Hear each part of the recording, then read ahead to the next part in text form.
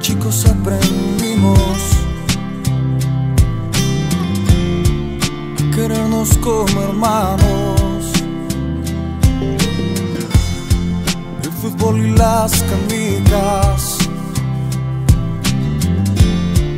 a los buenos y a los malos. Muchas veces nos peleamos. Otras veces ni hablamos. Pero aún sigo siendo amigo. El que es como mi hermano.